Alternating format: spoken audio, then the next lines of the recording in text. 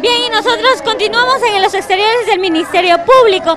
Y es que esta tarde se entregó la, cuñada eh, de Pedro Castillo, Jennifer Paredes.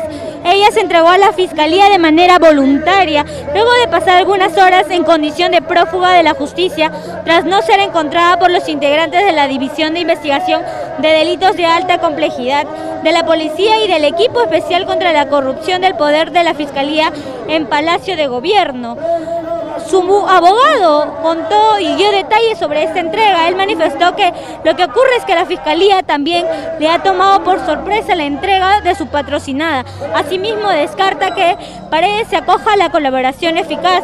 Él confirmó que se puso a disposición de la Fiscalía de la Nación para cumplir con la orden de detención preliminar que se impuso en su contra. Este es el panorama que se está viviendo en estos instantes. Está aquí muchos simpatizantes del gobierno que han venido a defender a Pedro Castillo. Vamos a escuchar un poco lo que dicen al respecto.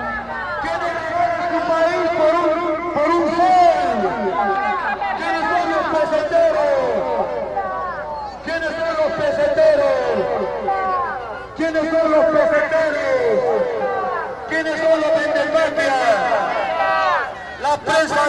Así, asimismo gritan arengas sobre la actual fiscal de la Nación, Patricia Benavides.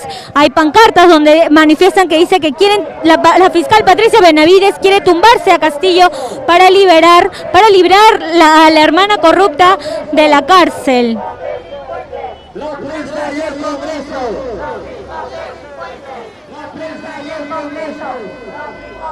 Bien, y nosotros vamos a continuar acá en los exteriores del Ministerio Público, nosotros con un poco de temor, porque como sabemos, este gobierno es, está destacado por atacar a la prensa y por golpear a los periodistas. Con esa información para PBO Radio 91.9 FM, la radio con fe, informó Miriam Hernández.